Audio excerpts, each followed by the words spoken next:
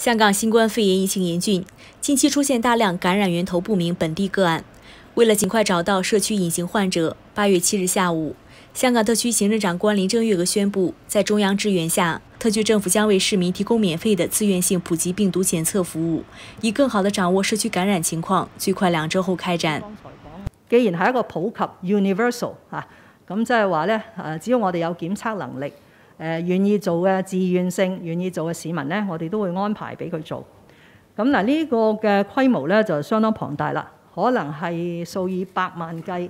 嘅香港市民咧都希望能夠有呢個病毒嘅檢測。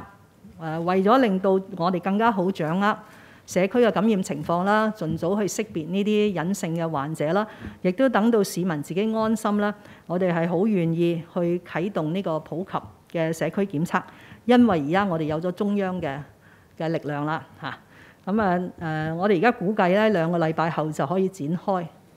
林鄭月娥談到，應特區政府請求，中央派遣內地核酸檢測支援隊和內地方艙醫院支援隊，協助特區政府在短時間內加強病毒檢測能力，增加社區治療設施。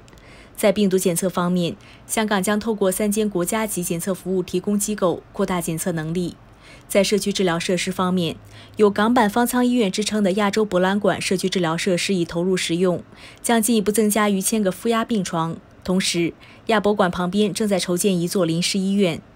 另一個呢，或者可以叫做係港版嘅火神山醫院，就係重新建嘅。我哋揾咗塊地，就喺亞博館嘅側邊嘅有一塊大概係三萬二千平方米嘅土地呢，就喺嗰度希望能夠建一個臨時醫院。我哋睇到呢個唔係啊即時或者短期內嘅需要，係為咗第日我哋有更加好嘅能力咧，可以應對誒突如其來嘅疫情啦。